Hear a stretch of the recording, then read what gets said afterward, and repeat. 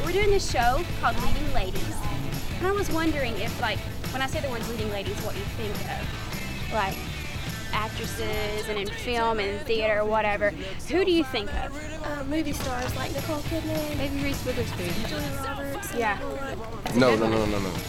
Beyonce. Beyonce. Oh yeah. Trina. Leading lady. I'd probably say Natalie Portman. Like film I think of like Julia Roberts. Julia Roberts. Yeah. Kia Hills. I like Kia Hills. Okay. I like Oprah. Oprah. Oprah.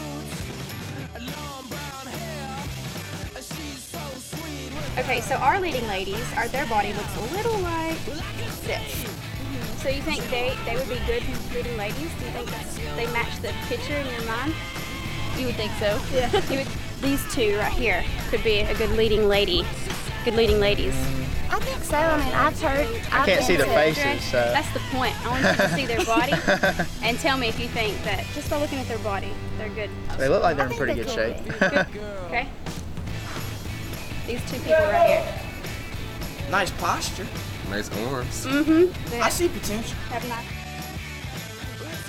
For leading ladies, right? Right. Okay, how about now? Oh wow.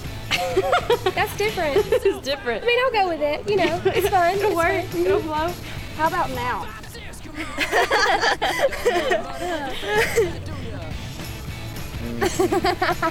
They look like they're uh, weird now. So Okay, so you ready? Yeah. How about now? That's- I said no. Oh, See, I said no, right? Didn't I say no? You yeah, I said could have yes. known. I know. I could have known from the triceps that those were See, I said he got. Some, manly I said she got some black arms. See, he said, ooh, yeah, I like see, it. you These said are these are ladies. These are leading ladies. you said the leading men. I mean, the leading ladies has nice arms. and you're on.